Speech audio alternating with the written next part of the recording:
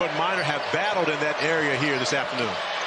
Bacot. That shot from the corner picked off by Davis.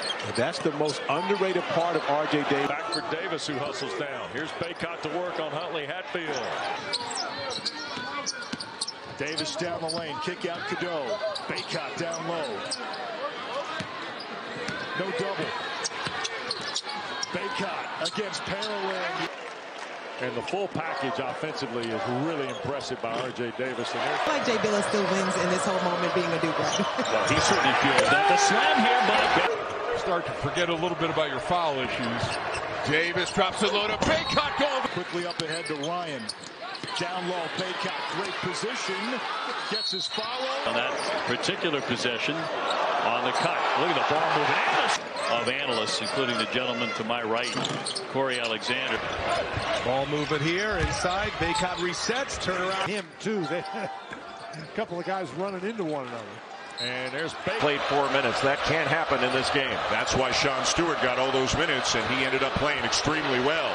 Bacot. DJ is 6'2 grad, played two years at Illinois State, Arizona State as well. He's a really a nice player. Back to a double-digit advantage. Bacot trying to go up and up. Position on Stewart for the high-low. Just not enough pressure on Harrison Ingram.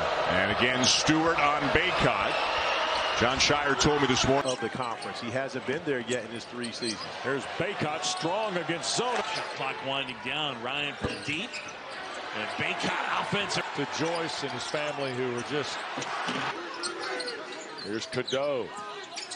Weaving back around the screen, leaves it to Bacot. And Richard Ayers, Pat Driscoll, and John Gaffney are officials. Carolina teams, and he will be yelling at his guys to get back. Bacot powers it up and in. Bacot. Yep. And there's the bounce pass to Armando now. And on cue, he'll wrap around Wessler and score. Active. Carolina getting good minutes out of their bench players tonight. You got two New York guys going at it right now. Of course, R.J. Davis, Archbishop Stepinac, and we know about Joe Girard as the all-time leader.